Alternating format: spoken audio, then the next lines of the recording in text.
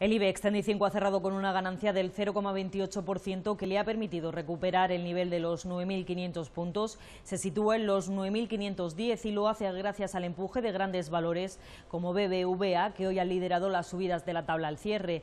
Todo después también de escuchar las palabras de la presidenta de la Reserva Federal de Estados Unidos, Janet Yellen, que comparece ante el Senado y en esta comparecencia ha confirmado que sería imprudente retrasar mucho una subida de tipos de interés y que en las próximas reuniones de este organismo monetario se evaluarán si tanto la inflación como el empleo evolucionan en la línea de las expectativas, en cuyo caso sería apropiado realizar un mayor ajuste de los tipos de interés.